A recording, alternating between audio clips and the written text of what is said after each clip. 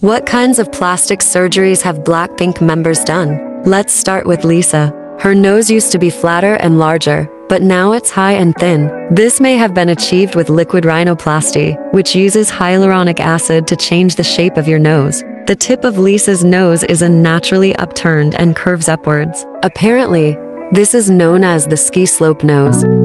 You can compare Lisa's lips from pre-debut to now. Her lip fillers aren't overdone and they're just to make her lips larger and plumber. Lip fillers need to be touched up often typically around half a year, so you can see the variations of Lisa's lips. They're changing all the time, either swollen or thin. And then compare her pre-debut to now. Her upper lip is much larger and it's the same size as her lower lip.